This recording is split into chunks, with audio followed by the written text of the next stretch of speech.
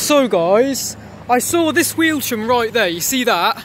I saw that coming up from the roundabout, and I've just seen another a lorry wheel hold on, let these cars to go. Another lorry wheel trim right there.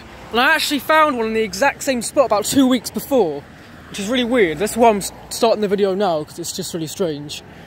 So, oh, it's a Storm Universal, and that one's a bus one, that's really weird. Like, I found another exact lorry wheel trim in the exact same spot before, so, anyway, that's the Storm one.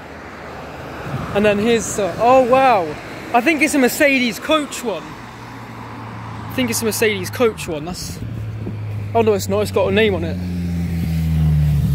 Hold on. Wow.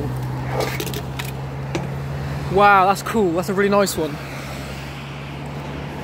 But that's really weird. Two bus wheel trims in the exact same location, two weeks apart. That's never happened before.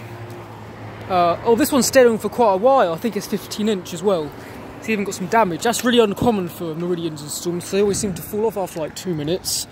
But um, yeah, I'm really happy with the bus one. That's, that's a really nice one. Um, it's really heavy as well. But I'm definitely keeping that.